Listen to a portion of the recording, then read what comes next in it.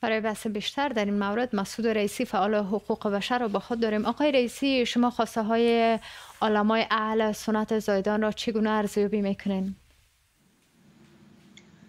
ببینید روحانیون اهل سنت در ایران خصوصا در کردستان و بلوچستان همواره تحت تبعیض و بیعدالتی ها بودند نه تنها قشر مذهبی بلکه مردم کرد و بلوچ هم به دلیل تفاوت‌های اعتقادی مورد نامهربانی و تبعیض و بیعدالتی از سوی جمهوری اسلامی بودند تو این سالها این تبعیضات و بیعدالتی ها رو ما در استخدامی ها در نحوه بله. شراکت این مردم در دولت های ایران و غیره بله. ما شاهدش بودیم به نظر من الان با توجه به اون فشارهایی که بر روی روحانیون اهل سنت هست قشر جامعه این قشر جامعه من فکر می‌کنم به طور جد خواستار تغییرات در سیستم حکومتی ایران هستند تا شاید بتونن آزادانه و بدون بله. از بدون از تبعیض و بیعدالتی به اعتقادات و خب حالا اگر فشارها بیشتر شوه ممکن است جمهوری اسلامی بر رفراندوم تن بته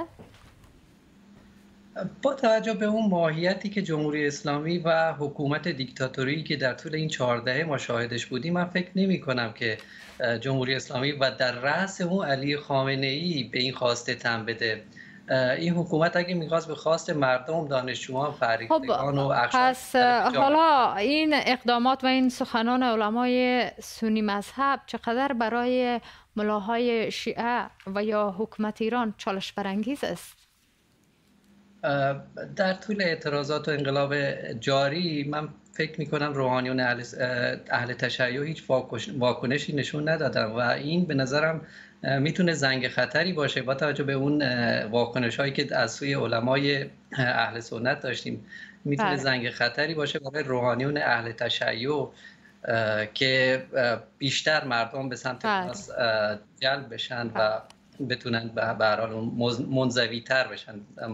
روحانیون اهل سنت. آقای رئیسی خواست معترضین چه هست؟ آیا رفراندوم است و یا کلا براندازی نظام؟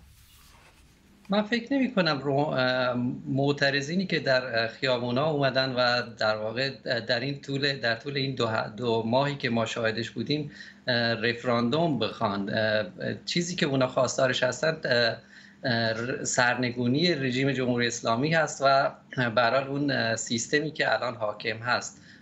برای موضوعی که روحانیون اهل سنت دارن مطرحش می‌کنن از لحاظ قانونی قوانین بین المللی و حقوق بشری در واقع دارن این موضوع رو مطرح می‌کنن و مطمئنا به خواست مردم احترام می‌ذارن. بسیار تشکر از شما آقای رئیسی.